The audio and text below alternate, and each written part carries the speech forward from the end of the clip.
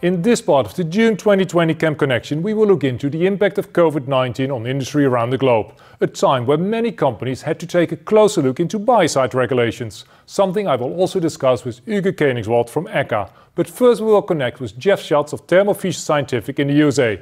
Hi Jeff, I hope all is well. Thank you, Tjeerd. And yes, things remain fairly normal here in my home office, but it certainly wouldn't be an understatement to say we've been pretty busy.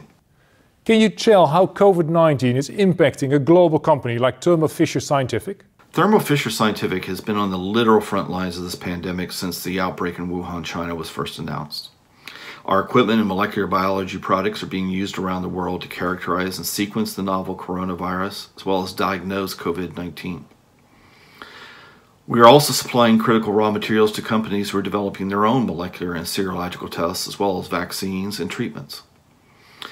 Needless to say, our R&D colleagues have been hard at work developing new products and our manufacturing teams have been scaling their oper operations. And this is all being done while uh, juggling facility validations and gaining regulatory approvals.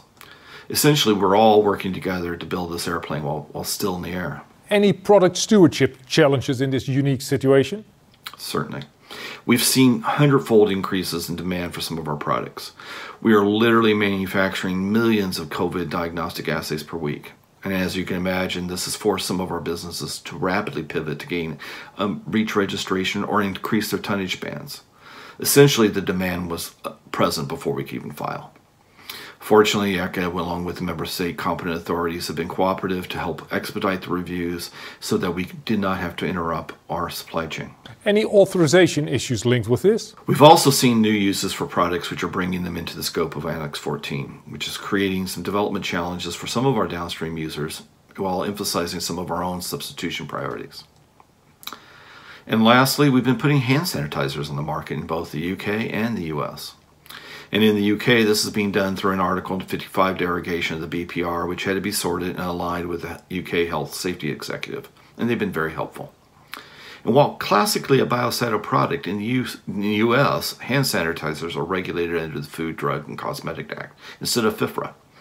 And thankfully for all of us here in the US, the FDA has been quite proactive with issuing emergency policies that define the formulations and clearly specify facility requirements as well as product labeling. That said, we had to move from manufacturing hand sanitizers to interpreting the regulations and make hundreds of gallons available to our staff and eventually our customers, which within a matter of a few weeks. Jeff, thank you very much. Thanks, Tjeerd. Stay safe. Also in Europe, COVID-19 created an urgency to find solutions within the regulatory biocides framework to get disinfectants on the market and to consumers as soon as possible we will connect with Hugues Kenigswald of ECHA in Helsinki and ask him what the biggest challenges and solutions for industry and member states are in the beginning of the roaring 20s of this century in relation to biocides. Hello, Tjeerd. Hello, everyone.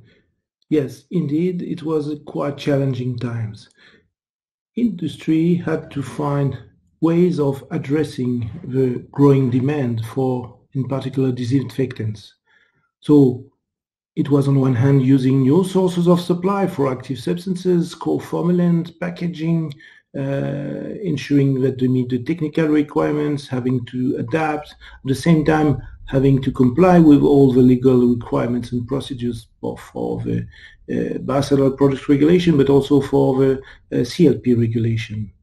Uh, for other companies entering the market, it was okay how to market our products which are normally not authorized under the biocidal products regulation with active substances not approved or not applied for all of this in a quite complex regulatory situation because depending on uh, the active substance used in the product products had either to be authorized under the biocidal products regulation or under national law for instance ethanol is not an approved active substance in uh, under the biocidal product regulation yet, and therefore national provisions apply.